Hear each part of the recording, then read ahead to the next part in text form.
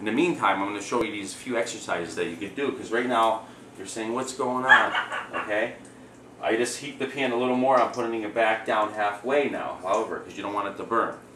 Now these are, say you don't have any weights, right? You could do side laterals.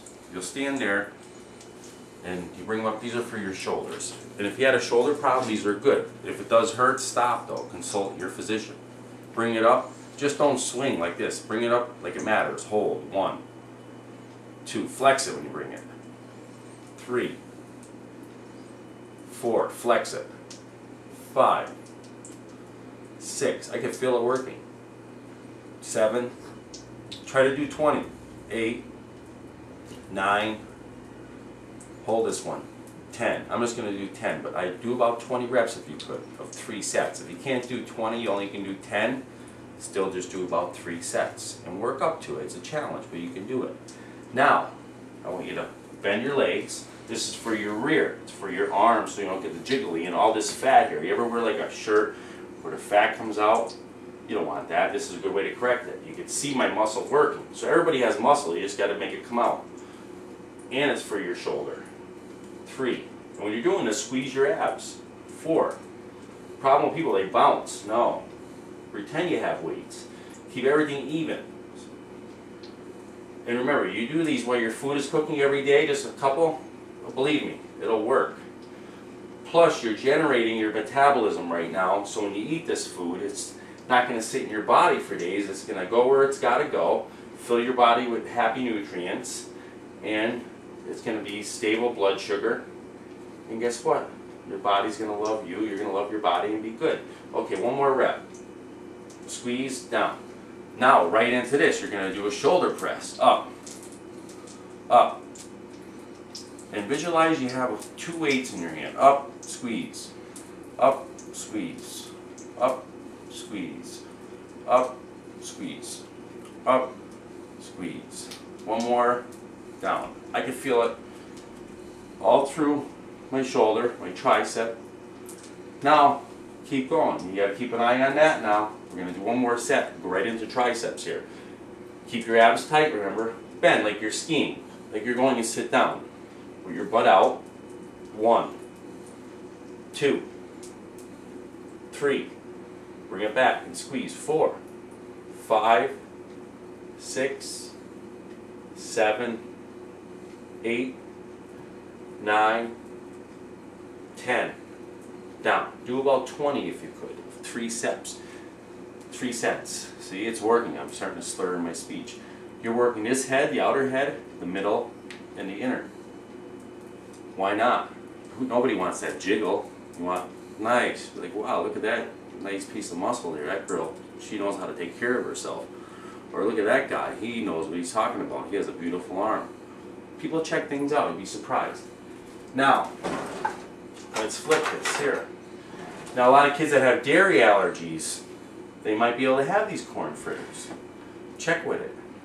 I have a relative that has an allergy, so I make a lot of food, and I always think of him, what he can eat and what he can eat. So, dairy allergies are bad. So I take consideration on, uh, you know, people's allergies. I used to actually be allergic when I was a child, but I outgrew it. Couldn't drink regular milk. I had to drink goat's milk. Maybe that's why I got big biceps, because thank God for those goats. Okay, I flipped them now. And you just don't want to push on them right yet. Just let them cook for a second. Maybe about 15 seconds. As you can see, they're cooking beautiful. And now you can just push, push on them slightly, not too much. Just a little, little, little one, you know? Now that they're cooking, we're just going to move them over in the corners, okay? Just put these in the corners. And see, none of them are sticking. It's working as planned. So now we're going to go over here with our chicken. We're going to put our chicken. Oh, beautiful. That's beautiful. I could hear it. I will be tasting it. you could smell it. Honestly, it's beautiful. I'm gonna put that right there. And did you notice we're not using any more oil, we're just putting it in there? Okay, let's put it here. This is so beautiful. Oh my god, that's gonna be great. Wash my hands again because I did handle that. Now, the fritters, that how long did that take? Probably, what, 16, 15 minutes? Because I talk a lot and we exercise, It's not taking too long. They're almost done. If you don't, if you just like really wanted to go like really tough, you could just use your chicken breast with nothing, just cook it with a little spray. Or George Foreman grill is the best, they're good as well. But today we're cooking it this way, simple way, anybody has a frying pan. Cast iron is very good. It's, uh, I guess, more the more healthier aspect. Okay, that's cooking now. We're just gonna leave that go for a second. Should we do another set? We're gonna do biceps. Put your hands out like this. Bring them up. Squeeze. Two. Three. Squeeze your abs. Four. Five. Six. Picture a dumbbell in your arm. Seven. Eight. Nine. Ten. Okay, bring them in the front.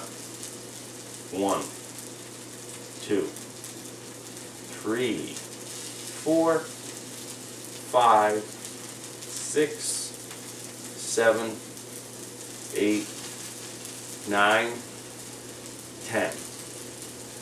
You can do, and we're gonna do ten this way. Nine, eight, seven. You're working all three heads. And I'm supposed to do 10, but I'm going to stop here because I'm going to explain all three heads. Lower, middle, upper. Lower, middle, upper. You can get biceps by just doing these exercises. Are you going to be as huge as mine? Absolutely not. But you could start with this and you can get weights and work up to it. But you'd be surprised, just your own body, like your arm weighs, it weighs something. So if you program it and use it right, you'll get the most out of it. I do this at home a lot.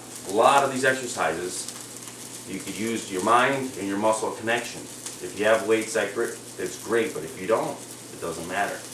Let's check our food out here. We get something to, use here. I can get a fork. Turn this chicken. This chicken cooks really fast. Beautiful. See? It's cooking up nice. You don't want to burn the chicken now. And remember, we softened it with the lime earlier. Now,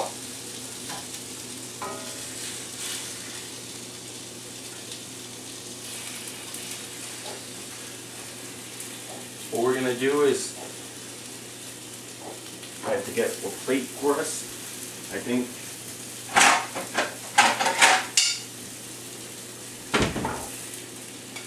I just didn't want to mix the one, the olive oil with the uh, Pam. I guess you could probably taste the difference. Actually, we didn't even use a lot of olive oil, did we? What did we use? Two capfuls? That's nothing. Like, what do you get at a picnic, you think, when you go?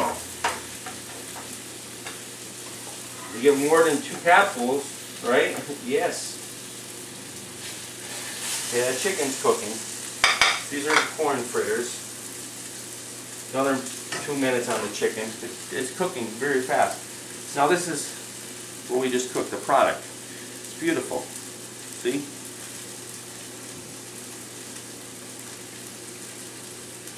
You can see the carrot. The kids will love these. They're really, really good. And this is the one with the Pam spread. This is a vegetarian's dream. Very good. I actually I'm amazed. I haven't had these in such a long time. It brings back memories. Let's check the chicken out. This chicken's ready. I don't know about you. Okay. Yep. Now how do you check chicken? You cut it. You get it? And you bounce it back. See? See? that's ready. That's how you can tell. It's got to be white, all white. Don't mind me to eat with my hands, but it's that good that I have to. I showed you a few simple exercises that you don't need weights. I showed you how to make corn fritters with a boneless, skinless chicken breast. You can do this at home for yourself, for your family, for your kids. Get them all involved or you just get involved. Get friends involved. Put the Yahtzee game away, take it out later and enjoy this. Thank you for enjoying this segment. I hope it was educational. I'll see you next time.